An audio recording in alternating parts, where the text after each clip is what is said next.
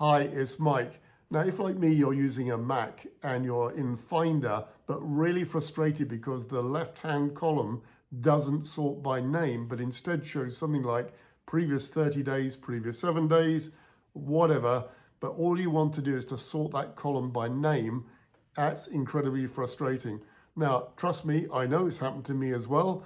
In fact, I even phoned Apple support. They told me to reinstall the software. But you don't need to do that. It's much simpler than that. In fact, if you see this little box now, which I'm highlighting, uh, you'll find that somehow or other that's been reset or moved. And all you need to do is to go into open that box, reset it to none, and then all of a sudden the name field reappears and it's fixed. Done. Simple as that.